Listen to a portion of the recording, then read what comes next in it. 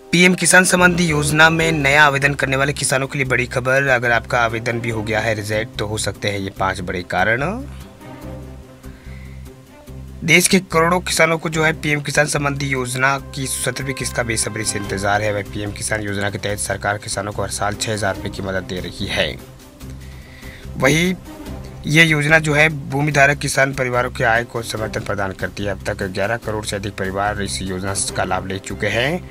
वही हर साल नए किसान जो इस योजना का फ़ायदा उठाने के लिए आवेदन यहाँ पर करते हैं, लेकिन कुछ किसानों के आवेदन जो है वो रिजेक्ट हो जाते हैं। यानी कुछ किसानों के आवेदन जो है वो रिजेक्ट हो जाते हैं, इसके पीछे कुछ कारण जो है वो हो सकते हैं। पाँच कारण टोटल यहाँ पर बताए गए हैं, पीएम किसान योजना में आवेदन रिजेक्ट, गलत बैंक डिटेल हो सकता है, एक बार चेक कर ले कि बैंक खाता सही है या नहीं। इसमें ये गलती सबसे बड़ी यही होती है कि आप बैंक खाता वगैरह जो है, उसमें नंबर वगैरह जो है गलत डाल देते हैं तो ऐसे में रिजेक्ट हो सकता है।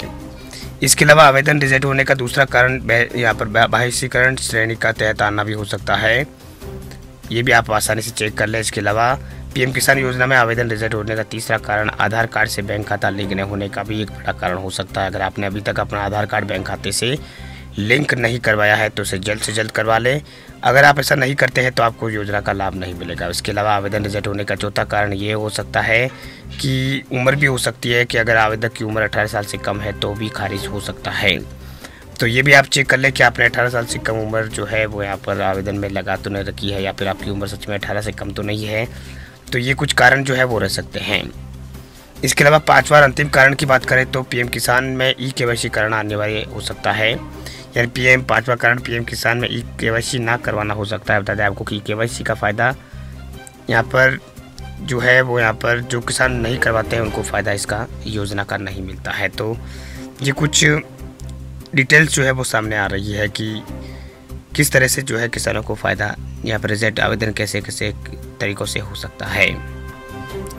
अब बात करते हैं सत्तरवीं किस्त की। तो सत्तरवीं किस्त कब तक आएगी? तो बता दें आपको कि अभी सरकार की ओर से, से लेकर कोई आधिकारिक घोषणा नहीं की गई है। सरकार ने पिछले सा यहाँ पर पिछले यानी फरवरी महीने के अंदर जो है यहाँ पर 28 फरवरी 2024 को जो है पिछली किस्त है सोलहवीं किस्त जारी की थी। अब सत्तरवीं किस्त का किसान बेसब्री से इंतज़ार कर रहे हैं लेकिन फ़िलहाल जो मीडिया रिपोर्ट चल रही है उसकी बात अगर करें तो हर चार महीनों के अंदर सरकार जो है किसानों के खाते में तो दो हज़ार रुपये डालती है। वैसे फरवरी में अभी जारी हुआ है तो अगली किस्त जून में आएगी तो जून महीने तक किसानों को जो है पीएम किसान सम्मान निधि योजना की अगली किस्त का इंतज़ार करना होगा। तो जून महीने तक जो है किसानों के खाते में ये पैसे आ सकते हैं।